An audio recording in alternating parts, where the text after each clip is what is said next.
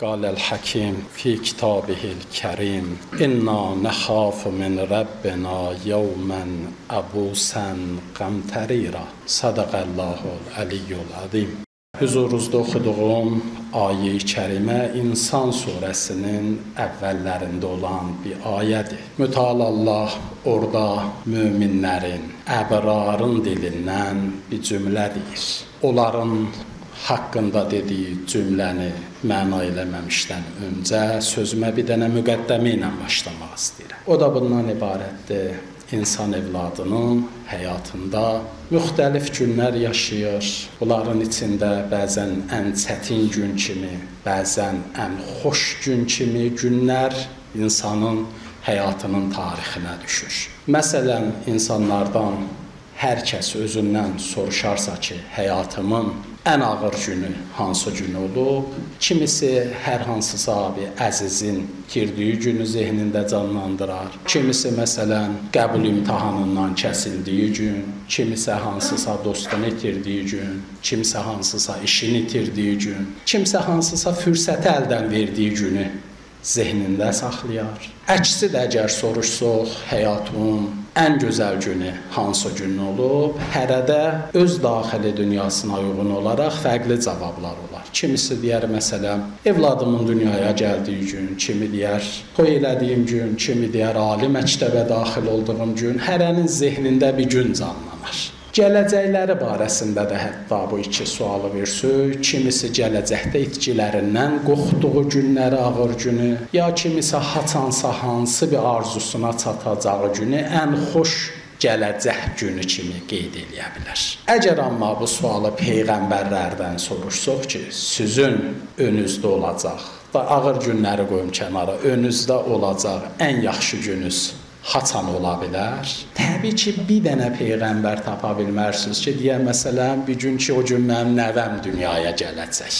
Ya o gün ki, məsələn, mən filan bir məqsədə, filan bir dünyəvi istəyə nail olacağam. Ya peyğəmbərlər belə deməz. Birdən deyə bilərsiniz, mən nə həqqlə peyğəmbərlərin adından hətta onların özlərinə tənzimləyəcəyi xoş günü də mən təyin edirəm. Yox, bunu mən özümdən demirəm, bunu peyğəmbərlərin dualarından deyirik. Peyğəmbərlərin müştərək dualarından biri bu idi ki, onların həyatlarında ən xoş günün haçan olacağını onlar belə elan edirdilər. Onların dualarında belə bir cümlə var idi. Buyurardılar: "Allahummə cəl xeyrə əyyam yawmən əlqikə fi."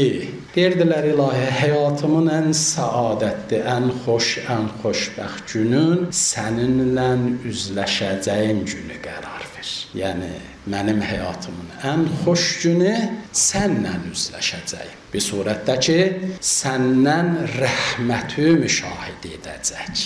Surətdə üzləşəcəm. Huzurunuzda oxuduğum ayədə Allah əbrardan danışır. Əbrar, yəni yaxşılar. Mütəal Allah İnsan surəsinin 5-ci ayəsindən 11-ci ayəyə qədər yaxşı insanlardan, öz bəndələrinin içindən bəyənilmiş insanlardan belə deyir. İnnəl əbrarə yeşrəbunə min kəsin kana mizacuha kafura əbrar, yaxşı insanlar. Onlar ki, bir badələr içəcəklər, bir camlar içəcəklər behiştibərində. Onun dadı belə ətirlidir. Yəni ətirlə dadı müzəbzəbdir. Ətri dadında mədxəliyyəti var. Necə misal olaraq bunu deyim, dünyada bəzi iylər var, dadda təsir qoyur. Məsələn, vanil tort bişirəndə bişinti bişirəndə ilə eyni halda bişintinin dadında da təsirin buraxır. Qurani-Kərim deyir, behişdəki, behişdə əbrarın içəcəkləri o su, o cam, o badə, o bulağın suyu, onun ətri onun dadında təsir qoyacaq. Dalıca mütəal Allah belə buyurur. Eynən bi bulağı ki, yəşrəbu biha ibadullah yufəccirunha təfcira. Bir bulağı ki, Allah bəndələri ondan içəcəklər və istədikləri yerə onu cari eləyəcəklər. O bulağın suyu onların istədiyi yerlərə axacaq. Onun barəsində deyirlər, deyirlər o bulaq ki, Mütəal Allah Qurani Kərimdə deyir ki, əbrar axirətdə onun suyundan içəcəklər. Barəsində deyirlər: "Hiya eynun fi darin nəbi." O behişdə peyğəmbərin evinin həyətində bir dənə bulaq olacaq. Peyğəmbərin həyətindən o bulaq qalxacaq. Təfcuru ila durul ənbiyai vəl müminin. Peyğəmbərin həyətindən qaynaqlanan o bulağın suyu gedəcək oradan onun qolları peyğəmbərlərin qapısına və peyğəmbərlərin də iqamətgahından o bulağın suyu gedəcək hara? möminlərin qapısına, möminlərin iqamətgahlarına. Nədən Allah əbrarı mədh edir. Allah əbrarın haqqında danışanda həm onların ünvanını deyir, deyir onlar yaxşılar. Əbrar yəni yaxşılar. Həm onların təriflərini deyir, oxuyacağım ayələrdə. Həm onların nə əməl sahibi olduqlarını bəyan edir. Mütəala Allah sözə bu cür davam edir. Yufuna bin nazr və yaxafuna yawman kana şerruhu mustatira. Onların xüsusiyyətlərindən 5 dənə xüsusiyyət mütəal Allah onlara sayır. Deyir onların birinci xüsusiyyəti əbrarın budur. Onlar nəzrlərinə vəfalı olurlar. Birdən əgər Allahla özləri arasında bir qərar versələr, bir nəzr eləsələr, nəzrlərində vəfalı olurlar. Allahla əhd peymanlarında doğru dürüst olurlar. Sonra sözün dəyişmirlər. Sıxıntılarda Allaha yaxınlaşıb, biraz vəziyyətləri düzələndə Allahdan uzaqlaşmırlar. Yox, nəzrlərində vəfalıdırlar axı. Deyir bir kişi oğlu ilə dənizdə səfər eləyirdi. Birdən dənizdə təlatüm başladı, tufan başladı. Bu kişi qorxuya düşdü.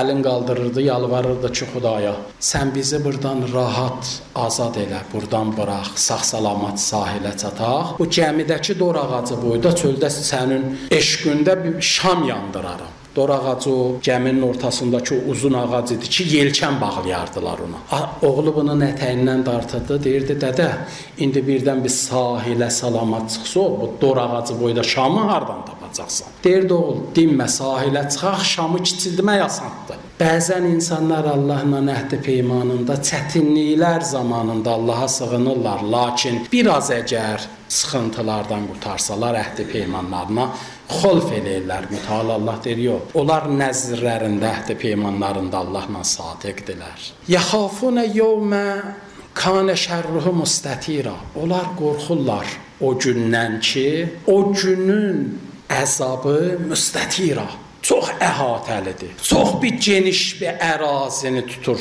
o günün əzabı. Ondan qorxurlar. Və yut'imunə ta'amala hubbihi miskinən və yetimən və əsira və onlar öz təğamların, özlərinin ona ehtiyacı olduğu surətdə, özləri onu sevərəkdən, amma miskinə, yetimə, əsirə verirlər. Ayənin şəni nüzulu Əmirəl-Möminin dudunmanı barədədir, amma çün qəblən bu barədə danışmışıq, indi şənin nüzuluna keçmirəm. Deyir bunlar bu işi görürlər və bundan məqsədləri nədir? Sonrakı simalarında Allah deyir: "İnnəma yut'imukum livəcihillah, la nuridu minkum cəzaən və la şükura." Və onlar bir insanlardır, o əbrar dediyimiz insanlar. Əgər kiməsə Allah yolunda yardım eləyirlərsə, yetimə yardım eləyirlərsə, əsirə yardım eləyirlərsə, miskinə yardım eləyirlərsə, onların bundan yalnız və yalnız məqsədi lillah bu işi görməkdir. Yalnız Allah xatirinə, Allah rızayətinə görə bu işi görürlər. Deyir ondan sonra Onlar deyirlər ki, əgər biz bu şeyi sizə eləyiriksə, sizdən nə bir qarşılıq gözləyirik, nə sizi bizə sayğı göstərmək üzrə məcbur bilmirik, nə də ki, sizdən bir təşəkkür eləmək üzrə ehtiyac görmürük. Sadəcə biz bunu Allaha görə eləyirik. Sizdən heç bir qarşılıq və təşəkkür ummuruq. Dalıca mütəal Allah onların mövqeyin, daxili hüviyyətlərini bəyan edir. İstəyir desin əgər bunlarda bunlar baş verirsə, hamısı bunun sayəsindədir. O nədir? Deyir, onların mövqeyi budur. İnna nəxafu min Rabbina yawman abusan qəmtərira. Biz ki bu cürük, biz ki yardım edirik, Allahla əhd peymanımızda sadiq qalırıq. Səbəbi budur. Biz qorxuruq o gündən ki, yawman amusan qəmtərira. O gün ki, həm tutqundur, küsgündür. O gün ki, həm qəzəblidir, həm şiddətlidir. Bizə deyiblər, insan evladı bir mömin Allahla rabitədə qorxmalıdır. Bəzən bəziləri deyirlər, axı nədən qorxmalıdır? Adam Allahı sevməlidir, Allahdan qorxmalıdır. Baxın, deyirlər insanla Allahın rabitəsində iki şey var. Bu iki şeyi insan evladın hökman yaşayacaq, hökman yaşayacaq. Amma hər birin təkrarsız olaraq bir dəfə yaşayacaq. Deyiblər o nədir? Deyiblər bir qorxudur, bir əminamanlıq, arxayınlıqdır. Bu iki dənəni 100% hər biriniz yaşayacaq. Amma necə? Deyiblər, Allah bunu insanlara təkrarsız yaşatdıracaq. Hər kəs bu dünyada qorxunu yaşadı, o dünyada əminamanlığı yaşayacaq. Dayçın qorxunu bir də yaşasa, qorxunun təkrarıdır. Allah bir hissi insana iki dəfə yaşatmayacaq. Deyiblər, hər kəs burada qorxunu yaşatdı, axirətdə əminamanlığı yaşayacaq Allahla rabitədə. Yox, əgər indi birdən bu dünyada biri arxayıncasına yaşadı, qəti Allah qorxusu bunda olmadı. Bu arxayınçılıq payın bu dünyada yaşayıb. O dünyada payına düşən nə olacaq? Qorxu olacaq. O o dünyada qorxunu yaşayacaq. Niyə bizə deyiblər Allah qorxusu ilə yaşamalıyıq? Çün Allah qorxusu yeganə qorxudur ki, insana müsbət surət və sima bəxş edir. Bəzi qorxular var, adamda mənfi surət sima yaradır. Məsələn, gecədir, evdən çölə çıxmağa qorxursan. Nə olacaq? Bənd olub oturacaqsan evdə. Çölə çıxmağa qorxursan. Ehtiyac var çölə gedəsən. Tələbat dalıca getmək istəyirsən, amma qaranlıqdan qorxursan. Bu səndə yaratdığı sirət o surət o sima nə olacaq? Bənd olacaqsan. Nədən qorxsun? Allahdan qeyri. Allahdan qeyri nədən qorxsun? Hərəkətdən dayanacaqsan. Hər bir qorxu olur olsun. Yeganə qorxu ki, səni hərəkətə gətirir Allah qorxusudur. Görünür Allah qorxusu ilə başqalarının qorxusunun Bir dənə fərqi, ömdə fərqi budur. Başqa qorxular insanları hərəkətdən saxlayır, hər nəyin qabağında. İctimai fəaliyyətdə hərəkətdən saxlayar, siyasi fəaliyyətdə hərəkətdən saxlayar, cihadda hərəkətdən saxlayar, müharibədə hərəkətdən saxlayar. Çünki qorxursan, əsirsən, bənd olubsan, dayanıbsan. Amma Allah qorxusu yox adamı hərəkətə gətirir. Hədis də bizə bunu deyir ki, deyir, əgər bir adam Allah qorxusun bu dünyada yaşadı, bu adam sima tapır, hərəkət əhli əhli olur, bəndəçilik əhli olur, kimsəyə zülm eləmir, kimsəyə təcavüz eləmir, kimsənin həqqini yemir. Belə bir adam bir sima tapıb axirətə çatanda deyəcəklər ki, xoş gəlibsən, səfa gətiribsən. Gəl o behiştin o əbrarın bulağından su iç. Bir su içi dadı ilə iyi bir-birinə qaçıb.